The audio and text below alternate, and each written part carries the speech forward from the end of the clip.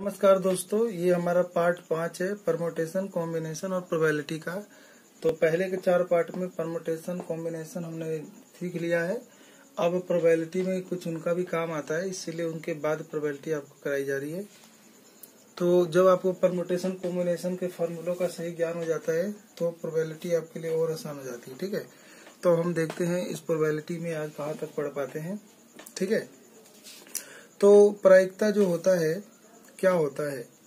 ठीक है, जब भविष्य की घटनाओं की अनिश्चितता को अंक गणित के रूप में निरूपित किया जाता है तो उसे प्रायिकता या संभाविता कहते हैं। यानी कोई कोई जैसे खेल हो रहा है, उस खेल में कि हम पहले ही कुछ परिणाम बता सकें, वो भी अंक गणित यानी गणित में अंकों में बता सके तो उसे ही प्रायिकता कहते हैं, ठीक है?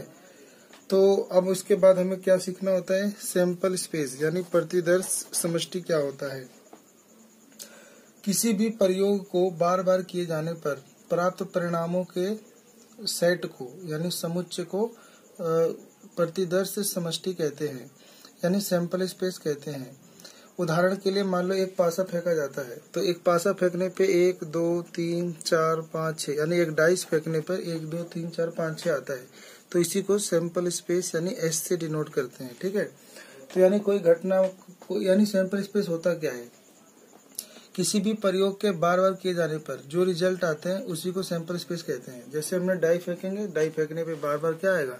एक दो तीन चार पाँच और छह यही आएगा तो इसी को बोलते हैं सैंपल स्पेस अब जानेंगे इवेंट क्या होता है।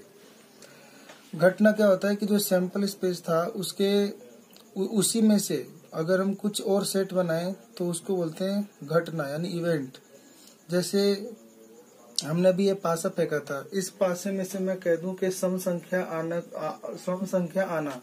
तो सम संख्या आने की कोई बोलेंगे कि पासे फेंकने पर सम संख्या आना।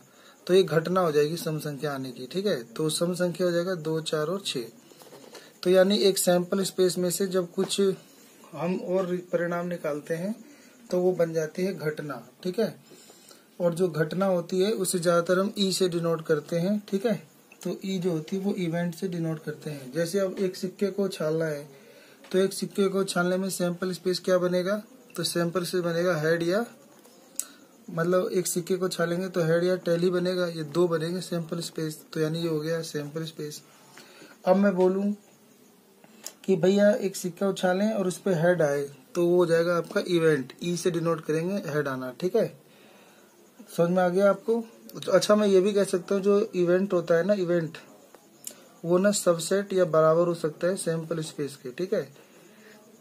मतलब ये जो सबसेट क्या होता है कि इसी का अंश सैंपल स्पेस में से ही उसका कुछ रिज़ल्ट या उसी का कुछ परिणाम, ठीक है? उसी का कुछ नया उप उप समुच्चय उसी का एक घटना उसी में से निकालना तो उसी बोलते हैं ई इज़ सबसेट यानी उप समुच्चय है प्रतिदर्श समष्टि का, ठीक है? तो इसके बाद हम प्रायिकता का फॉर्मूला सीखेंगे। प्रायिकता का फॉर्मूला होता है पी पीई यानी प्रोबेबिलिटी ऑफ़ एन इवेंट तो पीई बराबर होता है वो इवेंट जो पर्सन पूछा गया था, और बटे में टोटल सैंपल स्पेस अभी मैंने जैसे बोला हेड आना। तो एक सिक्का उछालने के कितने सैंपल स्पेस बने? दो। यानी हेड या टेल कुल दो परिणाम बने। और उसमें हेड आने का एक परिणाम बना तो वो ऊपर लिख देंगे। तो ये आपका बन जाएगा प्रोबेबिलिटी हेड आने की, एक बट्टा दो, ठीक है? अच्छा प्रोबेबिलिटी का जो मान होता है, वो हमेशा ज़ीरो से बड़ा या बराबर ज़ीरो भी हो सकता है, और एक से छोटा या एक के बराबर भी हो सकता है, ठीक है? तो प्रोबेबिलिटी जो होती है, वो ज़ीरो से तो बड़ी होती है, ठीक है? और ज़ीरो से तो बड़ी होती है और एक से छोटी होती है, एक के बराबर भी हो सकती है और ज़ीरो भी हो सकती है। लेकिन लेकिन संभावना प्रोबेबिलिटी में ना ज़ीरो नहीं लेते हैं, क्योंकि ज़ीरो हो जाएगा तो उसे बोल देंगे असंभावित घटना, ठीक है? इम्पॉसिबल इवेंट हो जाएगा वो। और इम्पॉसिबल इवेंट की जो प्रायिकता होती है, वो ज़ीरो होती है। और वही किसी की प्रायिकता अगर एक होती है, उसे बोलते हैं संभावित या निश्चित घटना, ठीक है? डिफिनिट इवेंट अगला पढ़ेंगे हम कि एक घटना होना और ना होना, दोनों का जोड़ एक होता है। जैसे हेड आना तो एक बटा दो हेड ना आना, एक बटा दो। अब दोनों को जोड़ोगे, एक बटा दो, एक बटा दो तो वो एक होता है। तो दो तो दो घटनाएँ होती हैं तो दो घटनाओं का जो होना और ना होना, दोनों का जोड़ एक होता है, ठीक है? अगला है म्यूचुअली एक्सक्लूसिव इवेंट परस्पर अपवर्जी घटनाएँ। तो ऐसी घटनाएँ मतलब एक सैंपल स्पेस में से हम ऐसी दो घटनाएँ लेंगे, जिनमें कोई भी मतलब उभयनिष्ठ नहीं होगा। एक भी चीज़ में कॉमन नहीं होगी, ठीक है? तो उसके लिए ये वाला निशान होता है। इंटरसेक्शन पढ़ते हैं इसे। तो इसे इंटरसेक्शन पढ़ते हैं। तो इवेंट वन और इवेंट दो, दोनों का जो सेम, जो इवेंट होगी, उनका इंटरसेक्शन ज़ीरो होगा। यानी नील, कुछ भी नहीं होगा तो उसे कह देंगे कि वो दोनों म्यूचुअली एक्सक्लूसिव इवेंट है। जैसे मतलब हमने एक डाई फेंका। डाई फेंकने पे डाइस फेंकने पे एक मैंने कह दिया इवन आना और ओड आना। तो इवन हो जाएगा अलग, दो, तीन, दो, चार और छह, और ओड हो जाएगा एक, तीन, पाँच। अब दोनों में देखा जाए तो दोनों में एक भी चीज़ कॉमन नहीं है। तो जिसमें दोनों में एक भी चीज़ कॉमन नहीं है उससे बोलते हैं म्यूचुअली एक्सक्लूसिव और म्यूचुअली एक्सक्लूसिव में एक फॉर्मूला पढ़ना है कि इवेंट वन यूनियन ऐसे निशान को हम यूनियन बोलते हैं। इसको यूनियन को हम और समझ सकते हैं और इंटरसेक्शन को या समझ सकते हैं, ठीक है? तो जब दोनों म्यूचुअली एक्सक्लूसिव होते हैं तो event one union event two इसका फॉर्मूला होता है probability of event one plus probability of event two अगर नॉट म्यूचुअली एक्सक्लूसिव का क्वेश्चन होता है तो फॉर्मूला बनता है event one union event two बराबर event one plus event two minus इन दोनों का इंटरसेक्शन ठीक है? इसको अच्छे समझने के लिए जब आगे क्वेश्चन करेंगे, तब समझ में आएगा बढ़िया से, ठीक है? इंडिपेंडेंट इवेंट क्या होता है? स्वतंत्र घटना। कि जैसे मान लो अगर आपको स्वतंत्र घटना दे दिया जाए तो क्या होती पहले स्वतंत्र घटना ये समझते हैं। यदि दो घटनाओं का घटित होना या नहीं घटित होना एक दूसरे पर निर्भर ना हो तो उन्हें स्वतंत्र घटना कहते हैं। तो इसमें एक फॉर्मूला होता है कि इवेंट ए, इवेंट बी का इंटरसेक्शन तो वो हो जाता है गुना। तो ए और बी दोनों गुना हो जाता है। प्रोबेबिलिटी ऑफ़ ए गुना प्रोबेबिलिटी बी दोनों गुना करने पे इसके बराबर आता है। ऐसा तब होता है जब वो इंडिपेंडेंट इवेंट हो। अगर वो डिपेंडेंट हो, क्या हो? अगर वो डिपेंडेंट तो ऊपर वाला फॉर्मूला नहीं लेगा अभी डिपेंडेंट क्या होता है? यदि एक घटना का घटित होना दूसरी घटना पर निर्भर हो तो ऐसी घटनाओं को परतंत्र घटना या डिपेंडेंट इवेंट बोलते हैं। जैसे ताश की एक गड्डी से एक पत्ता खींचा जाता है। बा, जिसे बाहर खींचते हुए यदि दूसरा पत्ता खींचा जाए तो दूसरे पत्ते का निकलना पहले पर निर्भर करेगा। यानी पहले और दूसरे पत्ते का खींचा जाना दोनों एक दूसरे पर डिपेंड है। अब पढ़ेंगे इसके बाद कंडीशनल प्रोबेबिलिटी कंडीशनल प्रोबेबिलिटी क्या होती है? प्रतिबंधित प्रायिकता। यदि किसी सैंपल स्पेस में दो घटनाएँ होती हैं जैसे घटना ए इवेंट ए और एक इवेंट बी तो ए और बी इस तरह होती हैं कि ए पहले ए घटना होती है और उसके बाद एक बी घटना होती है। तो यानी पहले एक घटना घट चुकी है, उसके बाद एक दूसरी घटना बी हो रही है। तो एक पहले घटना घट चुकी है, उसके बाद एक और घटना घट रही है। तो पहले वाले को ए दूसरे वाले को बी तो एक यानी नीचे इसको लिखते हैं कंडीशनल प्रोबेबिलिटी को probability of B upon A तो इसका मतलब होता है ए घटित हो चुका है और बी घटित हो रहा है। तो इसका जो कंडीशनल प्रोबेबिलिटी होती है इसका फॉर्मूला होता है पहले इन दोनों का इंटरसेक्शन ए और बी का और बटे में जो घटना हो चुकी है पी ए से डिवाइड कर देते हैं, ठीक है? इसको धारण से समझेंगे आगे। जैसे मान लो दो पासे को फेंकने के क्रम में यदि ए पहले पासे पे तीन आने की घटना है और बी दोनों पासों पे आई संख्याओं का योग आने की घटना है तो बी की प्रायिकता बी की प्रायिकता बी की प्रतिबंधित प्रायिकता होगी। तो इस प्रकार की जो भी प्रतिघटित घटना होती है, उसमें ए घटित हो चुका होता है, फिर एक घटना और भी पूछा जाता है, ठीक है? अब ये पढ़ेंगे यहाँ से एक फॉर्मूला कि A union B union C का। तो A plus B plus C तीनों की प्रोबेबिलिटी का sum minus A intersection B minus B intersection C minus probability of A intersection C और प्लस तीनों के इंटरसेक्शन का जोड़, ठीक है? और वही जब वैन म्यूचुअली एक्सक्लूसिव वाला होता है तो A P A union B का फॉर्मूला बन जाता है। मतलब जब ये ये, यही वाला क्वेश्चन अगर म्यूचुअली एक्सक्लूसिव होता है तो उसमें जो इंटर जो यूनियन होता है, ठीक है? सॉरी ये यूनियन नहीं होगा, ये इंटरसेक्शन होता है, ठीक है? तो इसमें ए बी का इंटरसेक्शन बी सी का इंटरसेक्शन ए सी का इंटरसेक्शन ऊपर वाला, और ये जो, ये वाला था, ये तीनों के तीनों ज़ीरो होते हैं। जब क्वेश्चन म्यूचुअली एक्सक्लूसिव होता है तब वहाँ पे बस इसका फॉर्मूला ये तीन बच जाता है, क्योंकि ये तो चारों ज़ीरो हो गए तो ये बच, बन जाता है P A P B P C ठीक है? इतना आपको याद करना है। अगला होता है कि घटना का अनुकूल संयोगानुपात।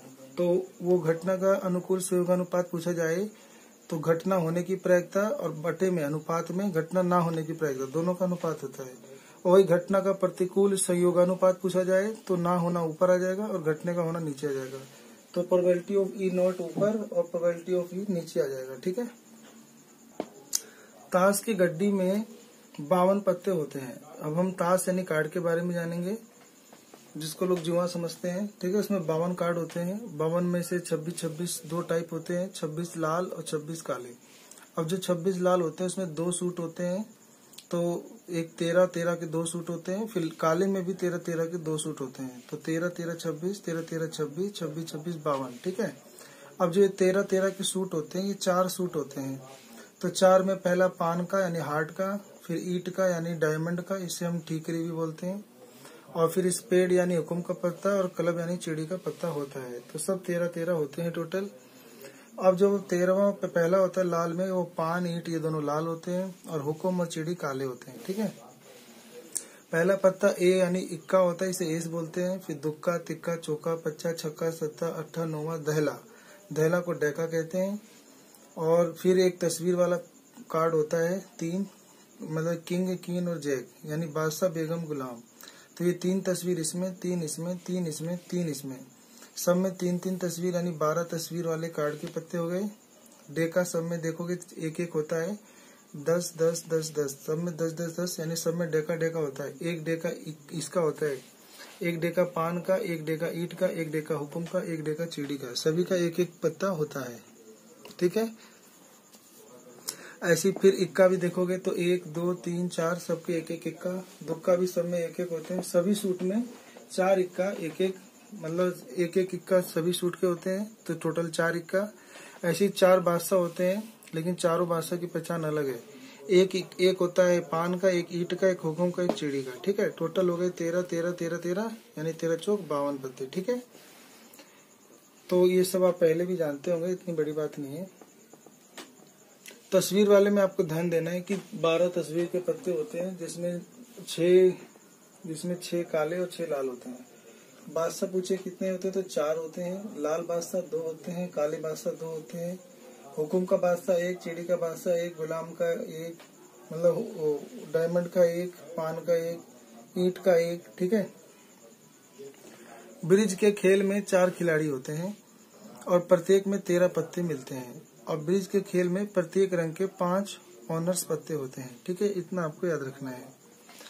अब हम कुछ क्वेश्चन देखेंगे। लिखा है कि एक सिक्के को उछालने में टेल हेड नहीं टेल तो टेल आने की प्रक्रिया क्या है? तो एक सिक्का उछालने पे दो परिणाम होते हैं। या तो एक हेड आएगा सैंपल स्पीच यानी हेड या टेल आएगा, और इवेंट हो जाएगा टेल आना तो प्रोबेबिलिटी का फॉर्मूला बन जाएगा कि अनुकूल परिणाम और बटे में कुल परिणाम, ठीक है?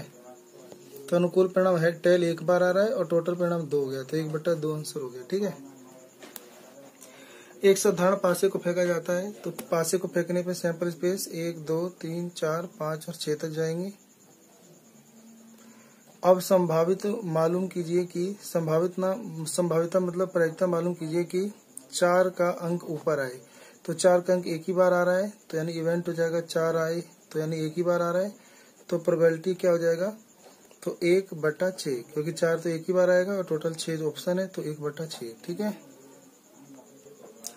दो पासे एक साथ फेंके जाते हैं। दोनों पर आए अंकों का योग सात होने की प्रयत्न क्या होगी, ठीक है? तो दो पासे एक साथ फेंके जाते हैं तो टोटल सैंपल स्पेस कितने बनेंगे? तो एक एक एक, दो, एक, तीन, एक, चार, ठीक है? एक, पाँच, एक छ फिर ऐसे पहले वाले पे दो आएगा तो बाकी पे ऐसे पूरे छः तक आएगा। फिर तीन, एक, चार, एक, पाँच, एक छ एक तो टोटल ऐसे आपके छः छः तक छत्तीस केस बनेंगे, ठीक है? छत्तीस में से बोला था कि सात, जोड़ सात आए तो जोड़ सात कहाँ आएगा?